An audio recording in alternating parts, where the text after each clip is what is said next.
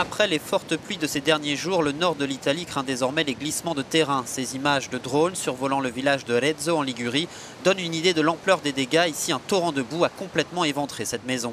Heureusement, les villages les plus touchés comptent peu d'habitants. Au total, deux personnes sont mortes et trois sont portées disparues.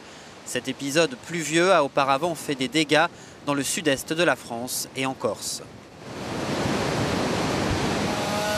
Ici à Gênes, la capitale de Ligurie, entre mer et montagne, un mur de soutènement s'est effondré pendant la nuit dans le quartier de Quezzi, sur les hauteurs de la ville. Dans les bâtiments alentours, 200 personnes ont été évacuées.